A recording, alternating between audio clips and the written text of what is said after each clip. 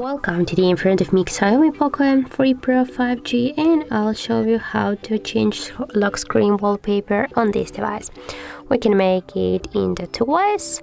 The first one, if you go just to the settings and scroll down a little bit to the wallpaper section and as can you see right now you can uh, uh, choose your wallpaper from the local photos from your device from the pre-installed default um, photos or also from the online wallpapers.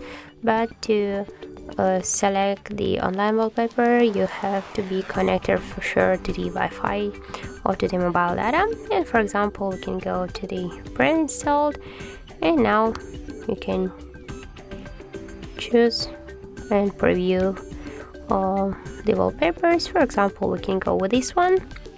And now just here tap to apply. And we want to set this wallpaper to the lock screen so tap there. And here we get the message that this wallpaper applied to our lock screen right now. Yeah and as can you see we got here our new wallpaper?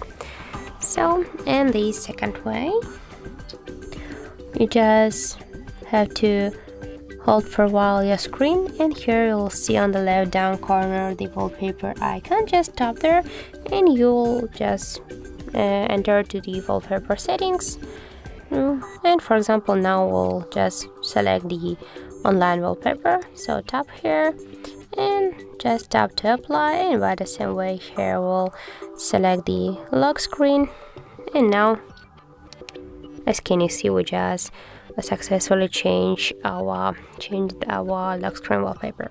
So that's how it looks. If you found this video helpful remember to leave a like comment and subscribe our channel